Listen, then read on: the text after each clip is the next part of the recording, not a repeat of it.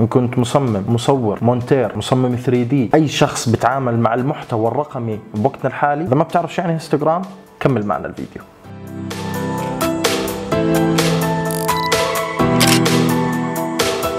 histogram histogram histogram histogram شو يعني ال histogram اولا ال histogram هذا هو الشكل اللي هو المدرج البياني. هو تحليل لمجموعة بيانات رقمية لكن على شكل رسمي. هاي الرسمه بتسهل علينا قراءة هاي البيانات وعليها بنصير نتخذ القرارات بشكل أسهل. خلينا نأخذ مثال بسيط على histogram عملي ممكن نستخدمه. بنروح على ال Excel sheet وبال Excel بعبي مثلا apple orange berry banana kiwi mango. بالمحل وبحط الكمية. فأنا عندي 20 تفاحه مثلا 12 كرزة. آه يعني هذا الجدول بسيط بقدر أقرأه. بس لما يكون عندي مثلا 255 50 منتج. صعب تصير تقرأوا الجدول كثير كبير بصف فشو الحل؟ الحل إنه ممكن أمثل هاي الأرقام بشكل رسم بياني بيساعدني أحللها بشكل أسرع وأفضل وعليه أتخذ قراراتي. فأنا بقدر أروح على Excel أحدد الجدول خليه يعطيني رسم بياني له. فهيك أنا بصير عندي مثلا تحليل أبسط للبيانات الأرقام اللي عندي. بدل ما أقعد أحسبها خلص بصير أطلع عندي على ال histogram آه والله التفاح مبين إنه هو أعلى شيء عندي مثلا أقل شيء عندي المانجا لأنه هو أصغر حجم. وهكذا. هي عرفنا إيش هو ال histogram أو الرسم البياني. طب شو هو ال histogram بالتصوير؟ ال histogram بالتصوير هذا هو اللي هو تمثيل لل pixels بالصورة حسب ال exposure تاعها.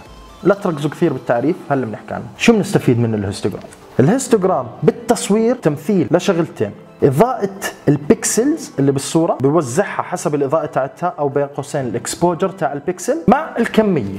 فلو رحنا على ال histogram هلا بدنا نبلش نحلله. أول شيء ال histogram بتكون من محورين محور أفقي ومحور عمودي المحور الأفقي بيمثل ال exposure ال exposure لكل بيكسل. المحور العمودي بيمثل الكمية quantity فهيك أنا عندي محور السين إذا بتتذكروا بالمدرسة محور السين يمثل ال exposure الاضاءه ومحور الصاد يمثل ال quantity الكمية. ببلش ال histogram من اليسار لليمين. فببلش هون القيمة صفر يعني عندي black أسود وبسحب لليمين 100% أو ركزوا لي على هذا الرقم 255 بيعطيني white هاي لما تكون الصورة 8 bit بيعطيني 255 تدرج أو 255 عمود.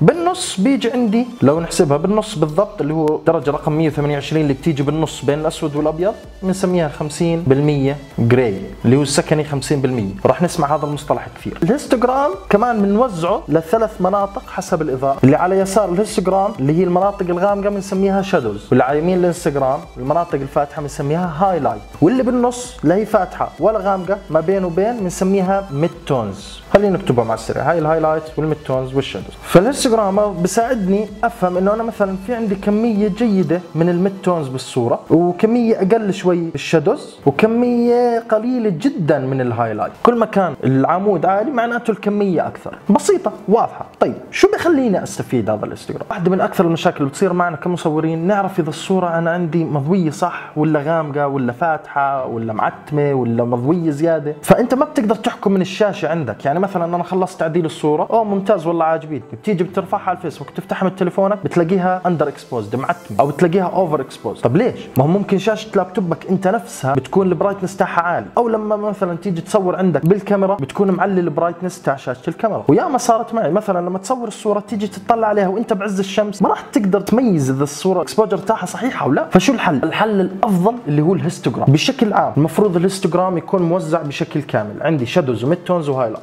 وال mid tones تكون هي الكمية الأكثر المفروض هذا بشكل عام. في صور عادي يكون رايح للشمال وهلا راح ناخذ أكثر من مثال نشوف كيف ال histogram رايح معي لليمين وللشمال. فخلينا نشوف مجموعة أمثلة على أشكال ل histogram ونبلش نحللها شوي شوي. حكينا بشكل عام ال histogram راح يحتوي عندي على مجموعة pixels. غامقه دي mid tones أكثر وعندي شوية highlights. هذا بشكل عام نحكي. خلينا نشوف أشكال ثانية لل histogram ممكن نواجهها. نفترض ال histogram طلع معي كالآتي. بلش من هون مثلا وبلش يطلع زي هيك. شو قاعد بيعطيني معلومات؟ ما فيش عندي shadows نهائي في الصورة وفيش عندي mid tones فكل الصورة فاتحة. فهاي بشكل عام إذا شفنا هذا ال histogram بيعطينا دلالة إنه الصورة over exposed over exposed يعني كثير فاتحة. فهي وحدة من استخدامات ال histogram لو شو ما فتحت على أي شاشة التليفون الكاميرا اللابتوب وشفت الصورة غامقة وفاتحة وإلى آخره خلص اتفرج على ال histogram وهو اللي بيعطيك القرار الصح. فشو الحل يا ليو بروح أنا بقلل ال exposure عبين ما يصير بالنص.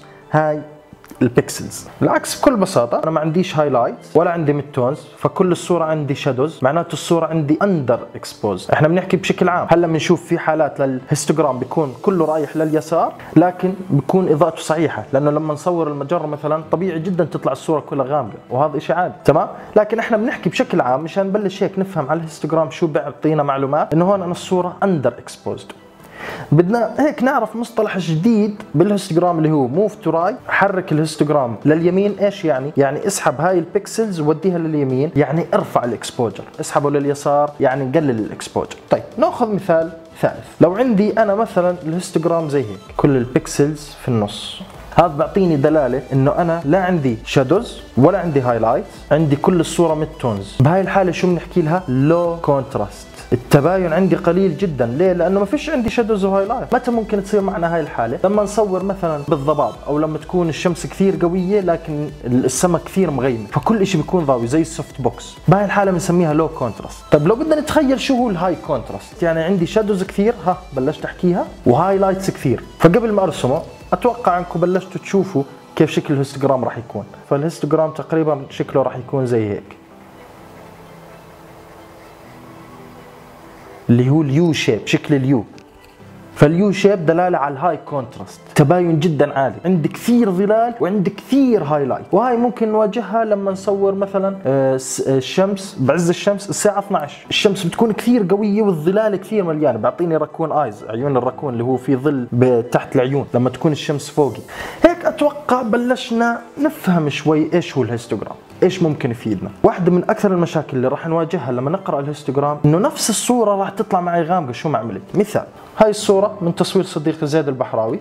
هذا التصوير يندرج تحت ال astrophotography اللي هو تصوير الفضاء تصوير النجوم تصوير المجرة. لو إجينا بدنا نفتح ال histogram ونقرأ هاي الصورة راح نلاقي إنه كل ال histogram رايح لليسار.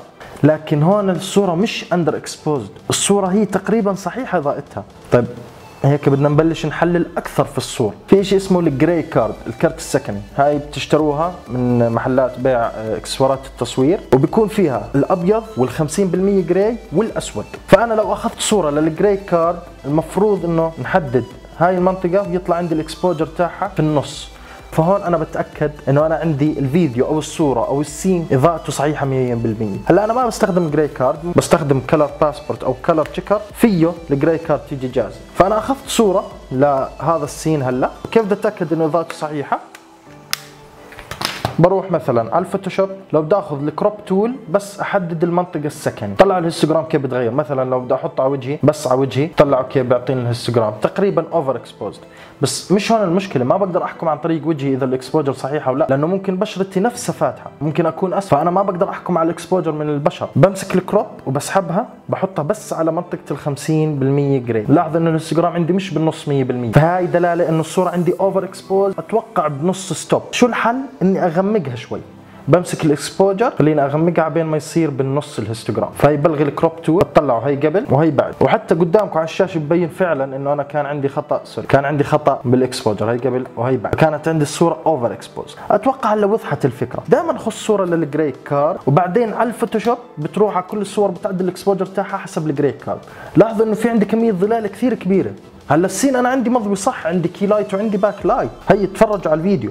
بس الظلال هاي من وين؟ بلوستي غامقه والخلفية سودا سك واللابتوب كمان غامق. فهذول ال histogram ما بفهم إنه مثلا لونهم أسود بفهم إنه مش واصلهم ضوء كافي. فهون شوي بدها تصير أنت تميز الإشي. ال exposure تاعه صحيح وبين هو نفسه غامق. في مصورين بيعملوا ال business card تاعتهم gray card 50% نسبتها. هذا إشي ممتاز يعني بفيدك كمصور يضل معك. هسه بدنا نتعمق فيه أكثر نحلله من داخل ال camera raw filter. بدنا نمسك صور ونحلل ال histogram تاعها ونشوف كيف ممكن نعدله. استعنت بهاي الصورة من صديقي زيد بحراوي هون بدنا نبلش نقرأ ال histogram. هل الصورة هاي ال exposure تاعها صحيح أو لا؟ يمكن من الفيديو أنت ما تقدر تحكم لأنه شاشه تليفونك ال brightness تاعها واطي مثلا أو أنت قاعد تتفرج على الفيديو بالشمس. فكيف بدنا نحكم؟ نرجع لل histogram. خلينا نفتح ال histogram ونشوف هاي الصورة. تنويه أنا عدلت شوي على الصورة قبل ما أفتحها مشان أشرح عليها فقط. أطلع على ال histogram هاي الصورة رايح لليسار ونوعا ما يعتبر صورة under exposed فشو الحل؟ كيف بدنا نصلحها. أنا بفضل التعديلات أعملها على ال camera raw filter لاي صورة إن كانت JPEG أو raw. فاختصار ال camera raw filter control shift A أو بتروح على filter camera raw filter. بتطلع على هذا الهستوجرام مايل كله لليسار. هذا دلالة على إنه الصورة معتمة under exposed فبصلح ال histogram كيف بزيد ال exposure؟ عبين ما يصير بالنص تقريبا. يعني هيك نوعا ما أتوقع مقبول. بس وين المشكلة عندي؟ ال highlights المناطق الفاتحة. زاد ال exposure تاعها فأنا بقدر عن طريق ال camera raw filter أتحكم بس بال highlights وفي في slider خاص فيها هي. فبقدر أنزله. هي هيك أنا رفعت ال exposure تاع الصورة ورجعت ال highlights زي ما كان. وبقدر أتحكم كمان بال shadows لحال. هلا لاحظوا في سلايدرين زيادة whites و blacks. ال whites اللي هي الافتح بكثير من ال highlights يعني جدا فاتح وال blacks اللي هو جدا غامق بتقسموا بال histogram جوا الفوتوشوب إحنا بنحكي. يعني بدل ما يكون عندي ثلاث تقسيمات في عندي mid tones shadows و highlight وعلى اليمين أقصى اليمين اللي هي نسبة صغيرة بنسميها white وعلى اليسار نسبة صغيرة بنسميها blacks. يفضل بشكل عام بأي صورة خصوصا بال landscape يكون في عندي لو نقطة واحدة سوداء ونقطة واحدة بيضاء مشان يسكر عندي ال histogram يكون عندي موزع بالكامل. فأنا كيف بدي أشوف النقاط السوداء اللي عندي؟ هي اللي والله أنا عندي هي هون نقطة سوداء. وهي أنا عندي نقطة سوداء. خلص تمام. هاي المنطقة سوداء وهي المنطقة سوداء. لا هاي مش 100% أسود. لأنه ما فيش عندي هون spike على الأسود. في عندي spike صغيره هلا بتأكد منها. فكيف بدي أشوف اللون الأسود ال 100% داخل ال camera raw filter. في عندي مثلثات صغار هي الأبيض والأسود. لو كبست عليه على المثلث الأبيض طلع جوا الصورة أعطاني warning تحذير. إنه بلون أزرق. إنه هاي ال pixels غامقة كثير. داخلة بمنحنى ال blacks. ولو ضويت السهم الأسود أنا ما راح يطلع عندي تغيير لأنه فيش عندي whites أو شيء كثير فاتح. فأنا بس هي بدي ازيد ال whites لاحظوا إنه هون بيعطيني warning تحذير إنه أنا عندي الغيوم over exposed أو صارت خلص كثير فاتحة لدرجة ضاعت التفاصيل. فبهاي الحالة أنا بس بدي أنزل ال highlights شوي. هاي أنا عندي كم نقطة حمراء هون. بس أنا مشان ما أضيع التفاصيل في الغيوم بس بدي أقللها. تمام وأزيد ال whites وال mid tones أنت بتتحكم فيها براحتك. تقدر تكبس جوا ال histogram تاع ال camera raw وتسحب لليمين والشمال. هاي لاحظوا؟ بسحب معي. هون تقريبا إحنا خلصنا كل شيء ممكن نفهمه ونستخدمه لل histogram لهيك أي صورة أنت بتطلعها روح افحص ال histogram تاعها. هل هو صحيح؟ رايح لليمين أو لليسار؟ لا يفترض يكون بالنص إذا أنا حطيت جريد خصوصا مصممين ال 3D إذا بدك تتأكد إن ال exposure تاع الصورة عندك صحيح 100% خلي عندك object واحد بس بال scene ال gray تاعه 50% و render الصورة. وروح على ال camera raw filter واعمل crop بس على هاي الجزئية من ال gray وتأكد هل ال histogram تاعها صحيح 100% أو لا. وبنفس الوقت لازم يكون في عندك أشياء غامقة وفاتحة مشان توزع ال dynamic range يكون عندك ال histogram موزع بشكل كامل على الصورة. أتمنى تكونوا استفدتوا من هذا الفيديو. بلشتوا تعرفوا شو يعني histogram بلشتوا تفهموا أهميته بالنسبة لنا كمصورين أو مصممين حتى؟ إذا عندكم أي سؤال أو استفسار تقدروا تبعثوا لي على الفيسبوك ليو dot حماتي أو تكتبوا بالكومنتات على اليوتيوب وأنا بجاوبكم وتذكروا دائما إنه كل شخص فينا مبدع لكن بطريقته الخاصة. يعطيكم العافية. مع السلامة.